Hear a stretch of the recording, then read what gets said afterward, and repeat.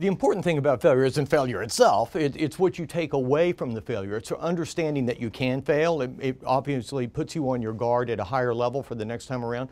But you often, or nearly always, I hope, learn very, very concrete lessons about it. Sometimes it's about the fact, hey, I turn out to have some flaws I didn't realize. Maybe I'm not a very good personnel manager. So maybe next time I need to hire someone who can handle my people for me. Or maybe I'm not as good a numbers guy as I realize now how important that is. I didn't really realize it at the time. Or any other number of things that you can learn about yourself and learn about the business model so that you can improve the next time around. And I know a lot of investors who really prefer to invest in people who have failed simply because they understand the real world and it's not just going from a chalkboard into uh, automatic economic win.